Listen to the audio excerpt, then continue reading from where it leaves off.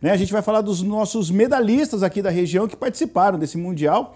E a gente começa falando lá do Saiko, que nós também Tem, tivemos. tem um, tem um, um videozinho com Ah, a galera. É. Tem um videozinho? Isso. Então vamos lá, bora.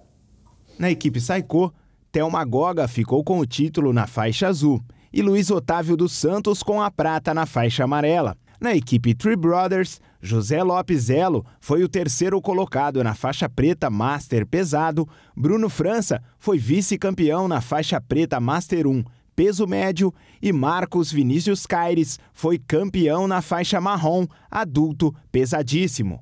Haldeman Requena ficou em terceiro colocado e a atleta da Gabas Jiu-Jitsu, Roberta Araújo, conquistou um ouro e um bronze no peso médio faixa preta. Cara, só tem lutador porreta aqui na região, Só um fera. negócio absurdo, né? Na Saiko, nós também tivemos aí o Gustavo Devides, vice na faixa marrom, a Juliana Mayumi, que foi vice na faixa branca, e o Matheus Brito, que também foi medalha eh, de prata na faixa azul. Pedro Augusto e Larissa Santos foram bronze na faixa branca, certo?